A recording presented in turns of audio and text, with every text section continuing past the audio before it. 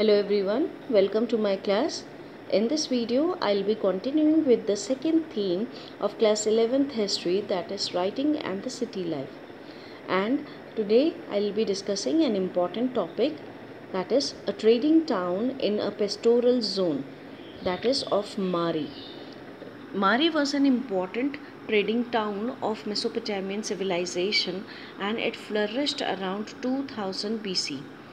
This capital of Mari flourished uh, at the upstream of river Euphrates.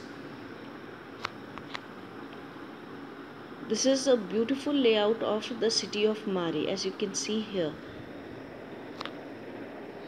Talking about its social life, the people here uh, were agriculturists, they were animal rearers. So agriculture agriculturists and uh, pastoralists were the two important communities living here in Mari.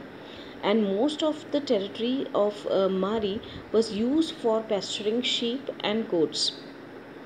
Herders need to exchange uh, young animals, cheese, leather, and meat in return of grains. So there was an interdependence of uh, these two communities on each other. They used to exchange their products there are references of conflict between the two communities because many times the shepherds used to take their folks to uh, water across uh, and they destroy the sown field or ruin the crops of the farmers. And on another hand uh, the farmers mm, they deny pastoralists to access river and canal water. So uh, these were the reasons for the conflict between the two communities these nomadic communities in Mesopotamia would worked as harvest laborers or hired soldiers, occasionally became prosperous and settled down. Some of them have established their kingdoms uh, like the Akkadians, Amorites, Assyrians, Arameans. These are some of the important uh, rulers of Mari.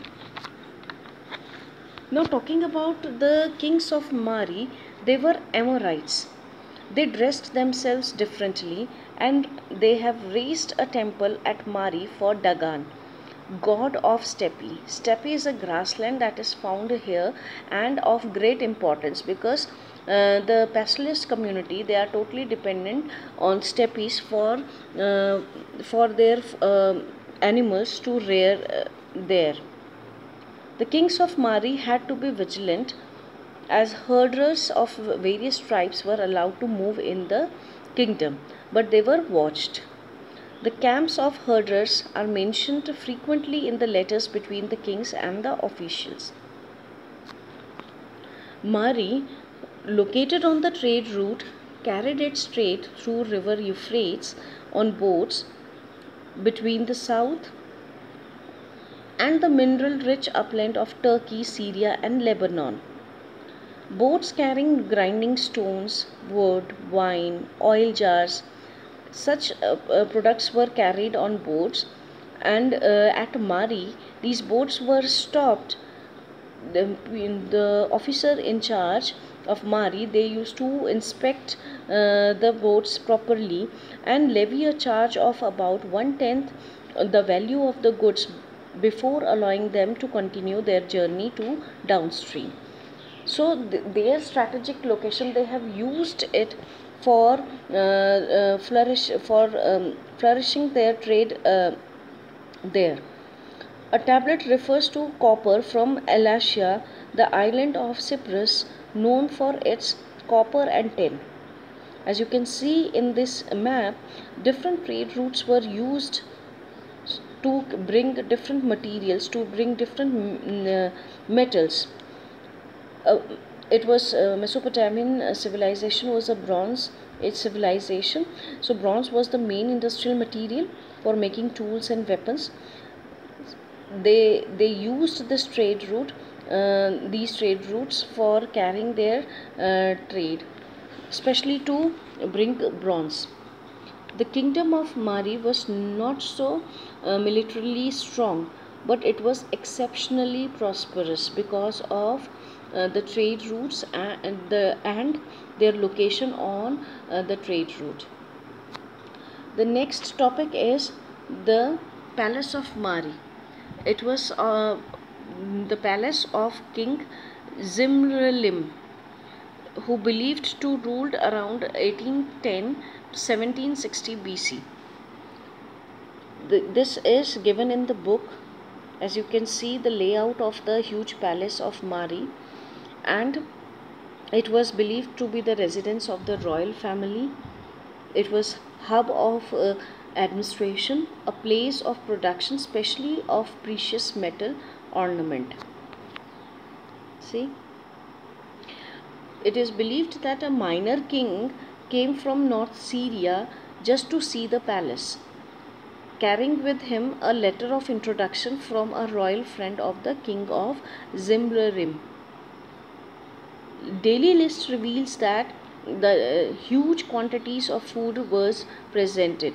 King probably ate in company of many in and around the courtyard. The palace had a, a large beautiful courtyard and king used to receive foreign dignitaries here. A room with wall painting is also found. It was a huge structure with 260 rooms and covered an area of 2.4 hectares. So, such a big palace. This is uh, an artistic representation of uh, uh, the palace of Mari and as you can see a large courtyard here where king used to greet uh, his foreign dignitaries the courtyard was probably used for performing many tasks. A room is found where the wall painting uh, is also found.